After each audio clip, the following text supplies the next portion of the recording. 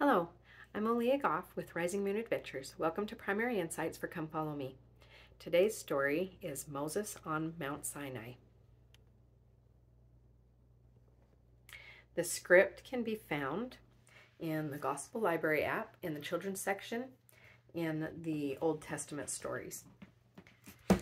The pieces I'm using come from my Come Follow Me Old Testament manual kit and so if you have one of those kits, you can find your pieces and follow along.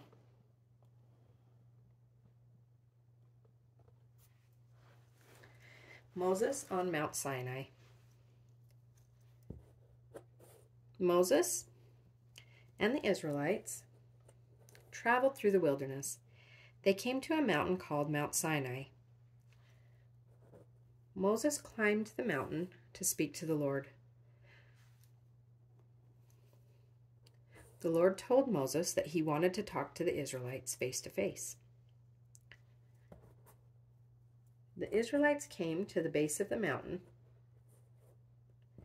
and the Lord caused a cloud of smoke to surround the mountain. The Lord was in the cloud. He spoke to the Israelites and gave them commandments. The mountain shook as he talked. The Israelites were afraid. They asked Moses to speak with the Lord so that Moses could tell them what the Lord wanted. Moses took Aaron and 70 elders to the mountain to receive more of the Lord's teachings. The Lord appeared to them Then the Lord told Moses to leave the elders and go even higher up in the mountain. Moses obeyed.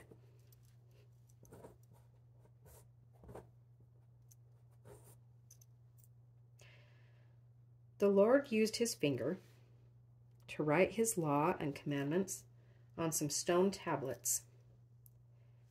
For 40 days, the Lord taught Moses many things. While Moses was on Mount Sinai, the people were back at camp. And they got tired of waiting for Moses. They asked Aaron to make statues for them to worship like they had in Egypt. Aaron gathered all their gold and made a statue of a calf. The Israelites worshipped the golden calf and offered sacrifices. They said the golden calf, not the Lord, had freed them from Egypt. The Lord knew the Israelites were worshiping an idol and forgetting him. He commanded Moses to go back down and tell the people to repent.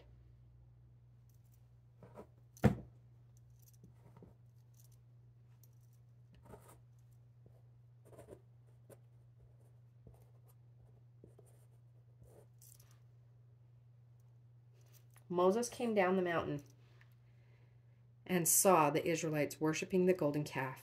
He was very upset. The people weren't ready to obey the law and, and the commandments that the Lord had written. Moses broke the tablets and destroyed the golden calf. He helped the Israelites repent and remember their true God.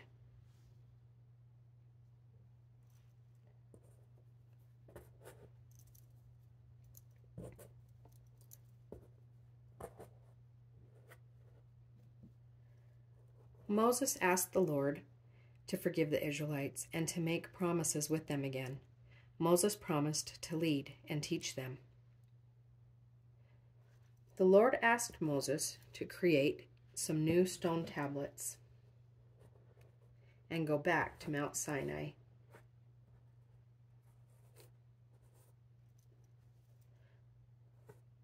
The Lord made new promises with the Israelites and gave them his Ten Commandments.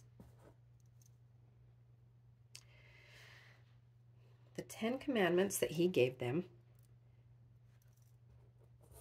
were that they would have no other gods before Him. We worship Heavenly Father and Jesus Christ, and that is all. He told them they were not to have graven images. They weren't to create idols to worship. We also do not worship items or spend more of our time with items than we do worshiping our God. He asked them that when they spoke his name, that they would do it with reverence and love. He asked them to keep the Sabbath day holy, to not work on that day, but to rest and worship him and renew themselves.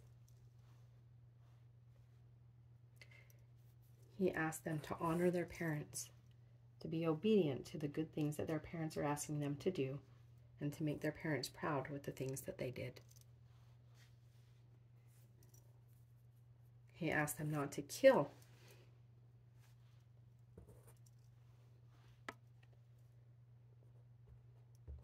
He asked them to be loyal to their families.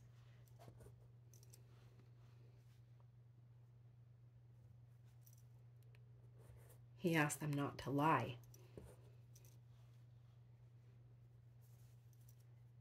And he asked them not to want the things that other people have, not to covet.